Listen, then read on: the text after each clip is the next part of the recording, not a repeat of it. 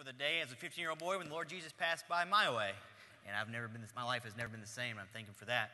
I'd like to thank Pastor for the opportunity to preach tonight.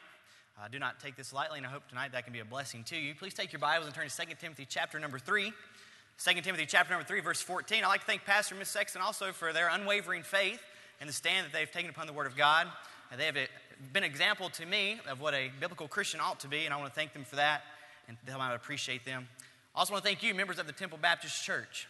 You know, I thank God for the Temple Baptist Church, and it's been a privilege to be here, to be a part of what's going here, on here as God is working.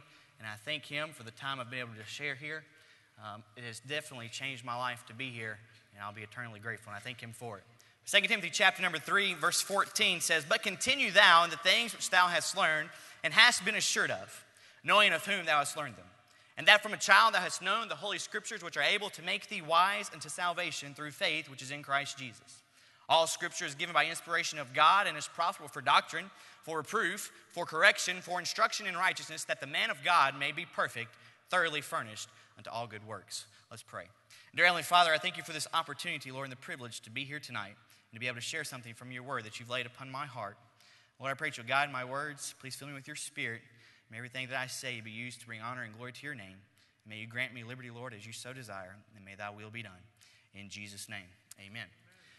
And as I was thinking about my life and where I'm at today, about graduation is coming up in a few days, I'll be graduating and, and moving on.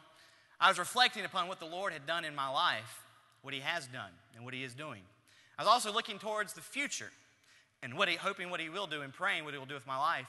But the question came to mind now what? What do I do next? I've been here for four years studying, preparing. That's what God has called me to do. And by His grace, that's what I've tried to do study and prepare to serve Him. But what do I do next? And this passage of scripture came to my mind and says, But continue thou in the things which thou hast learned and hast been assured of, knowing of whom thou hast learned them. And as Paul was writing to young Timothy and encouraging him, the Lord also spoke to my heart and said, All you have to do is continue in what you have learned and what's been assured in your heart, knowing of whom you've learned them. And tonight, in a brief time together, I'd just like to share you uh, this, this theme, Continue Thou. First thing I'd like us to notice is our adversity in our continuing. Verse 1 of chapter 3 says, This know also that in the last days perilous times shall come. For men shall be lovers of their own selves, covetous, boasters, proud, blasphemers, disobedient to parents, unthankful, unholy, without natural affection, truce breakers, false accusers, incontinent, fierce, despisers of those that are good, traitors, heady, high minded, lovers of pleasures more than lovers of God having a form of godliness, but denying the power thereof, from such turn away. And then in verse 13 it says, But evil men and seducers shall wax worse and worse, deceiving and being deceived. And the Apostle Paul is writing to Timothy, he's saying, Listen, in your day, perilous times will come. Evil men will wax worse and worse. But even though all that may be true, continue thou in what thou knowest to do, and what thou hast learned, what's been assured of in your heart, in your life, knowing of whom you've learned them. And I think about us as Christians, even though I believe we live in a perilous time today. I believe it is a privilege, too, to live in a perilous time. But you know, the Bible is telling us here to continue. You know, it may not be a popular thing to be a Christian in today's age, it may not be a popular thing to follow the Lord. It may not be a popular thing to go out and embrace your community with the love of Christ, sharing the gospel. But though it may not be popular, and though it may be perilous in some places, we are to continue in the things that we have learned.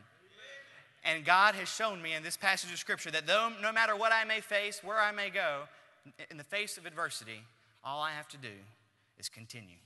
Proverbs chapter number 24, verse 10 says, If thou faint in the day of adversity, thy strength is small.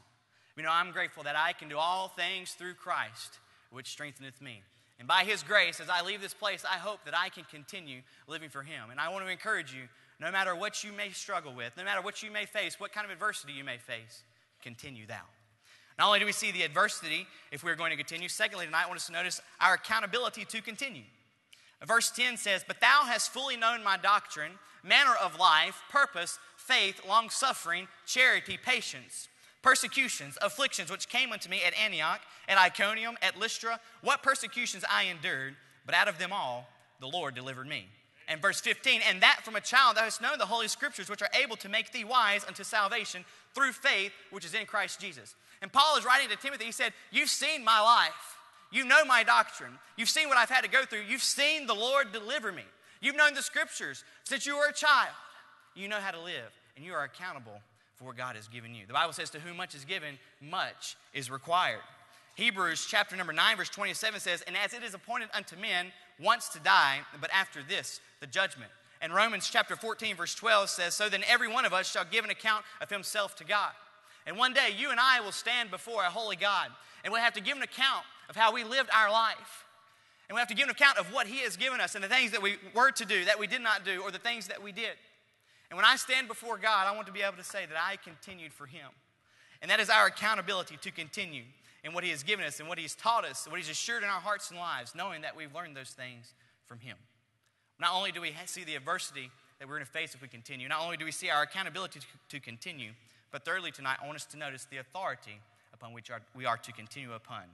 That is verse 16. If you notice with me, all scripture is given by inspiration of God and is profitable for doctrine, for reproof, for correction, for instruction in righteousness, that the man of God may be perfect, thoroughly furnished unto all good works. And I'm grateful tonight that I don't have to continue in my own wisdom or my own knowledge because I have very little. But I'm grateful that I have the Word of God, and that is my authority for what I am to continue upon. And I'm grateful for this place and how God has taught me through His Word and through the teaching and preaching of His Word how I'm to live and what I'm to do. And I pray, it is my heart's desire as I leave this place that I will go and continue in those things.